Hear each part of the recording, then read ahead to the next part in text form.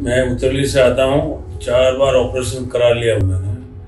और बाद में मैं इधर आया हूँ इस्माइल हॉस्पिटल में। बाद में इधर कराया मेरे को अच्छा लगा, बोला, कौन भी बोला कि इधर जाना अच्छा रहता है।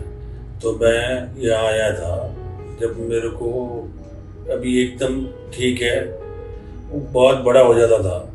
छोटा से वो एकदम दो तीन दिन से एकदम बड़ा हो जाता था। जब मेरे को सहन नहीं होता था। उधर दो बार, तीन बार गए तो भी वो एक जगह दो बार गए तो भी वो बार रेडी नहीं हुआ था। तो उसके बाद में मैं किसको पूछा था, जब इधर एड्रेस दिया था मेरे को। जब मैं इधर आया तो डॉक्टर साहब देखा तो देखो आपको ये हो गया, ये हो गया, मैं रेडी करको देता करको बोला था।